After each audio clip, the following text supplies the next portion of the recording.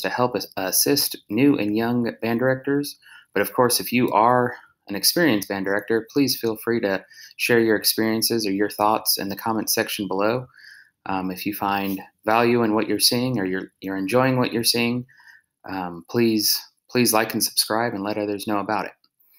All right, so today's episode is how I do scales with my with my students, and I did this over uh, quarantine last year at about this time.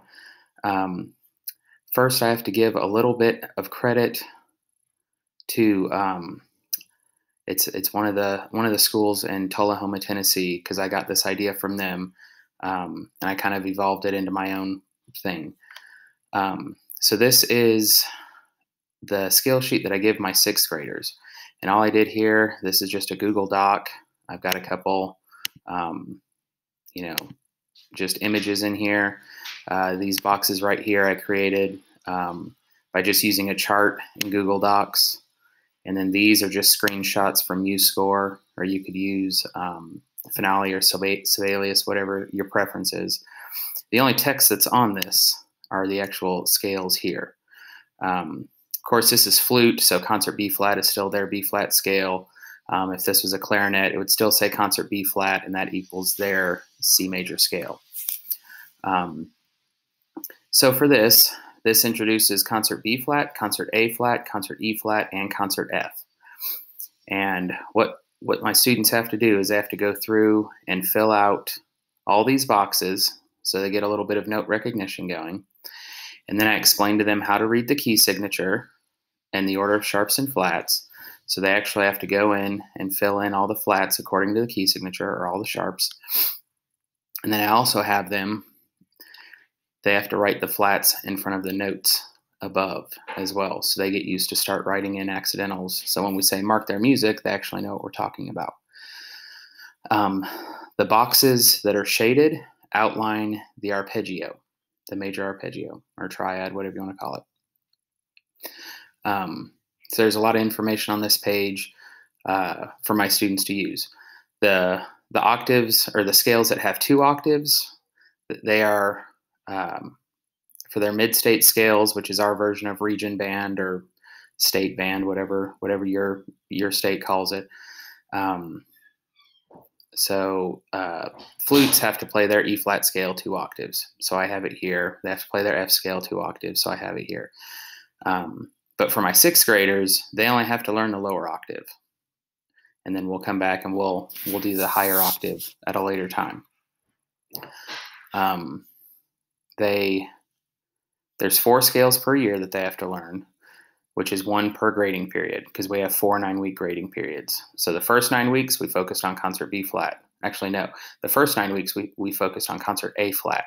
A flat's always the first one that I teach because it's in the best range for all of all of the instruments. Um, they do have to learn concert A flat and concert D flat but in in my opinion with all my students so far they enjoy learning the new notes and they enjoy you know doing the the weird notes. Um, now at my school fifth graders are beginners. So they get one year of beginning band and then i start introducing scales full scales in sixth grade uh, in fifth grade we do something different we just do um, uh, tetrachords so we just learn half scales um, for their range now, the way I introduce this is through a scale pyramid, and I actually stole this from a choir warm up. So we play the first note in the scale. And the way I do it is I'll say scale pyramid in whole notes. So we'll play the first note in the scale for a whole note, and then we have a whole rest after it. And then we'll play the first note, the second note, then back to the first note. Then we'll have a whole rest after it. So if it's if we're doing the scale pyramid in whole notes, it's got a whole rest at the end of each sequence. So I could write rest at the end, but when I do that, it messes up my my pyramid. But just know that there's going to be a rest at the end of each one of these lines. And the reason I did this is because for like our concert B flat scale, if our clarinets are still struggling to go over the break and we just play the full scale once up and down, and that's it.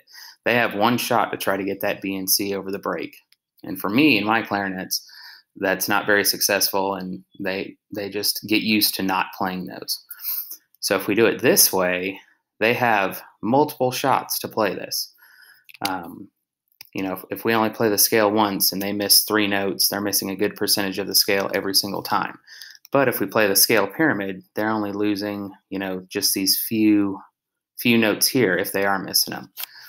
Um, so just it helps helps build long tones, help builds um, their their ears for what major scales are supposed to sound like. I, I really really enjoy running this with my students. And then you know you can do scale pyramid and um, half notes, and then it just goes a little bit faster. They have to think a little bit faster, or scale pyramid and quarter notes, then they have to think even faster. Um, so there's there's different variations you can do with that. So again, here's the sixth grade scales: concert B flat, concert A flat, concert E flat, and concert F. For seventh grade, and once you get one of these charts figured out, it's really easy to to manipulate the next ones because you just you know, you highlight this and then you just bring in your other scale. So for seventh grade, we learned concert D flat, concert C, concert G, and concert D. Okay, and for Middle Tennessee, between the four sixth grade scales and now these four seventh grade scales, those are the eight scales that are required for mid-state band. So by by seventh grade, by the end of seventh grade, they know all of their scales. Now, the kids that are trying out for mid state have to learn these a little bit faster, but it gets everybody ready, you know, in, in a timely fashion. Um, and again, there's still just four scales, one for each nine week grading period. Still have everything outlined the same. If there's two octaves on here, that means that scale is, is uh, uh, two octaves for their mid state scales. and then for eighth grade, we finish out the last few scales. So we have concert A, concert E, concert B, concert F sharp. And then for F sharp, you know, I go into, you know, this could also be G flat. Um, and the same with B, it could be um, not B, never mind. The other ones aren't aren't here. But concert F sharp, you know, could also be read as concert G flat. And again, they have to go through, they have to fill all this stuff out, write in the accidentals, it also helps them with reading key signatures as well, because especially in middle school, they're never going to see the key of concert B or concert F sharp, at least not in my middle school. Um, but yeah, this is the process that I do with my with my scales for my middle schoolers, and uh, of course, with all this, we run through all of our scales together. I'm a big fan of the circle of fourths, the the Ed Lisk um, circle of fourths sheet. Um, they also have that, so we we do a lot of a lot of scales in my band. Um, but I just wanted to share this. Uh, feel free to uh, to you know steal this and modify it as you see needed. Um, if if you want a copy of this, um, let me know in the comments below, and I'll I'll I'll post it or something so you guys have access to it. But this is um, the scale pyramid and my three years of scale sheets. So by the end of eighth grade, all of my uh, rising ninth graders know all 12 of their major scales. So if you have any questions, please let me know. Again, if you like this, please like and subscribe and uh, let your friends know about it, especially let your student teachers know about it. This is geared more towards them. But, you know, I think anybody can benefit from anything. And if uh, you have any comments on ways to improve this, please let me know in the comments below. I am I am by no means, um, uh, you know, the master at all this. So I'm I'm always willing to adapt and um, uh, change my teaching philosophies as well. So that is all for today. Thank you, and have a good day.